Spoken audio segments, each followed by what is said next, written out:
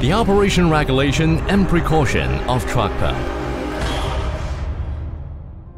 The Zoomlion truck pump adopts the advanced technology is of reliable quality.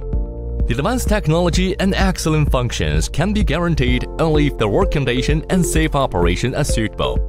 What should be paid attention to regarding to safety, operation, and precaution?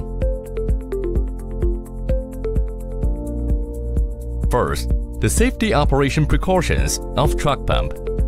First, truck pump should be placed horizontally. The ground should be flat and solid. The ground can't sink during work.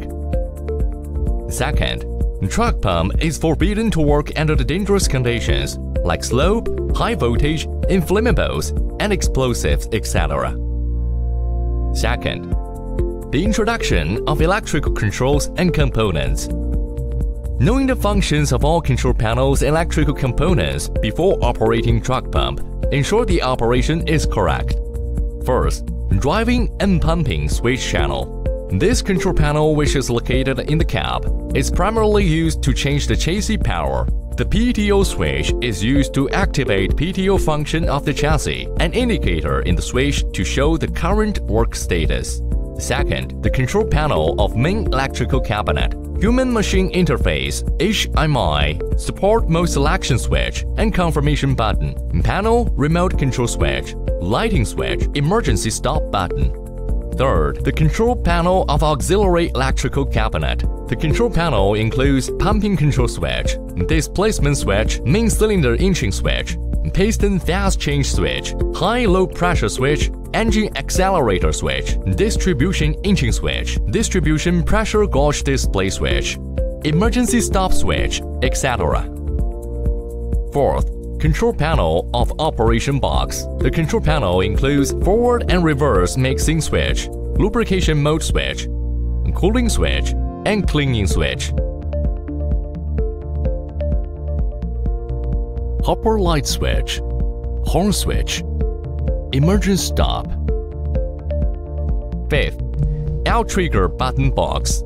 There's a boom manual control button next to the manual control handle. It powers the unloading valve, and enables boom manual operation. 6. The operation panel of remote control transmitter. The remote control system of the truck pump is mainly composed of transmitter and receiver, which is used to control the truck pump operation. The remote control transmitter primarily includes display, slew and boom control handle, forward and reverse pumping button, distribution inching button, fast slow gear mode button, boom buffer function, displacement switch, acceleration and deceleration button, horn, engine off button, antenna, and other components. Third, safety operation procedures and precautions. First, no standing under the boom of truck pump.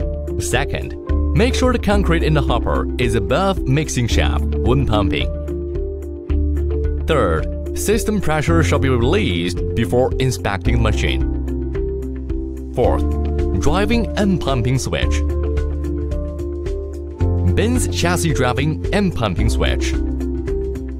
Firstly, ensure the engine is powered off, handbrake is in parking position, gear is in neutral position. Secondly, start the engine, press the pump button and the pump light is on. Thirdly, step the clutch and select the working gear, 7th high gear. Finally, press the PTO button. Then the PTO light is on, and the machine is in pump mode.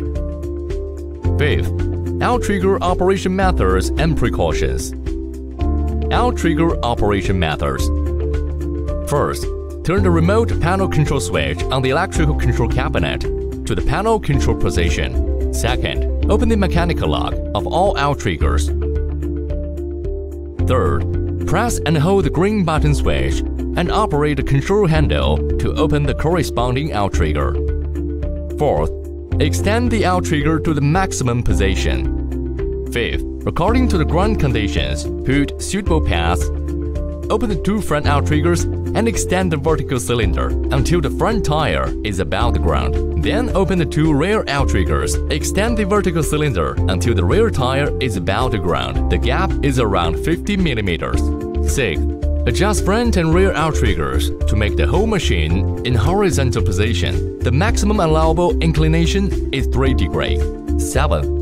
Confirm all the control handles of each outrigger has returned to the neutral position. Notices for outrigger operation. First, after confirm nobody is in the working area of the outrigger, then operate the outrigger. Second, booms must retract back to the boom support before operating the outrigger.